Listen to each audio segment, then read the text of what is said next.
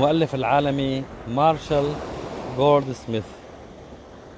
آه، مارشال جولد سميث ألف كتاب Triggers وهو أكبر coach بالعالم على مستوى مدراء الشركات وعباقرة العالم. كان يقول يا ترى إنه نحن كيف فينا نتغير؟ شو الشيء اللي بيغيرنا؟ كم مرة نحن حطينا أهداف لحالنا أنه بدنا نتغير منها؟ وما قدرنا نتغير. فرحلة التغير كم مرة حددت أهدافك؟ وكم مرة نجحت أن تحقق هذه الأهداف؟ التغير على مستوى العلم على مستوى إنجاز شيء في حياتك على مستوى عمل تطوعي. فهون بنجي يا ترى ما الذي يمنعنا من التغير؟ حسب الكتاب بيقول لك هو إنه دائما نحن في عنا قوى خارجية تمنعنا من التغير وعنا كمان همة داخلية هي بتحفزنا أو بتح أو آه، بتثبط لنا همتنا عن التغير. من زمان كانوا يقولوا لنا أنت مسير ولا مخير. فهو عندك هل أنت عندك قوة خارجية ولا عندك ما عندك همة ولا في همة ولا كيف؟ فهالرسمة هي هلأ حرسمها أنا على الرمل. بنشوف نحن كان عمليا نحن في عنا خيارين.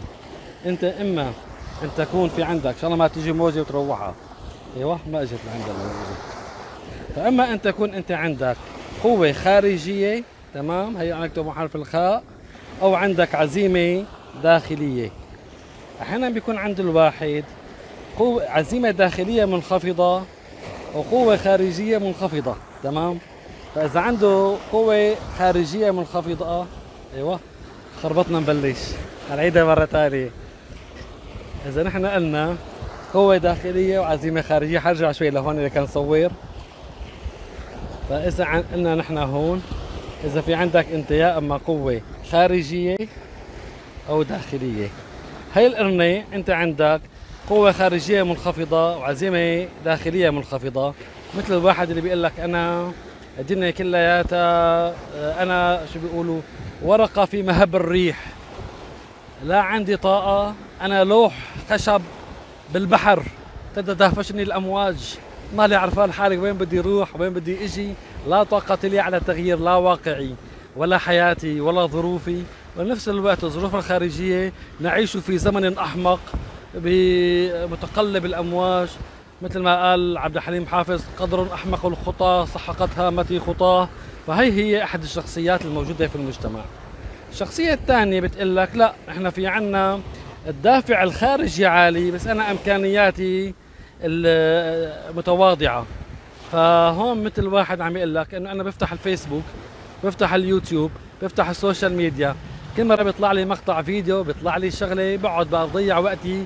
القوة الخارجية هي التي تشدني لحتى أساوي شغلات سواء أنا آه، ما عندي مقاومة لها أردتها ولا ما أردتها بدي ما بدي خلاص. بكون ماشي حاطط بالي اليوم مثلا بدي اقرا كتاب بفتح التلفزيون بلاقي فيلم حلو بقعد عليه أربع خمس ساعات. بفتح أنا الإنترنت بلاقي كمان شغلة حلوة بقعد عليها. راح وقتي كله. فالقوى الخارجية قوية وإمكانياتي ضعيفة. في ناس بيقول لك لا يا أخي أنا عندي قوة داخلية عالية جدا والعالم الخارجي مستحيل يأثر علي. هذا مثل كتاب Secrets اللي انتشر بالعالم إنه نحن ب Secrets ما في شيء بيأثر علينا ونحن بنحكم بالعالم بحياتنا كلها قانون الجذب.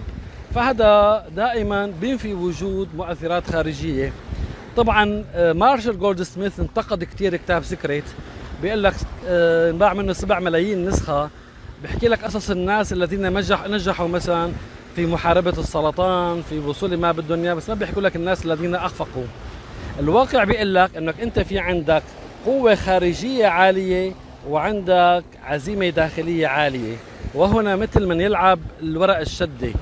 وقت بيفتل لك ورق الشدة أنت ما بتتحكم بالورق اللي حيجيك بس مهارتك باللعب ذكائك باللعب تشغيل راداراتك كيف عم تلعب هاي اللي بتخلي تعطي الفرق.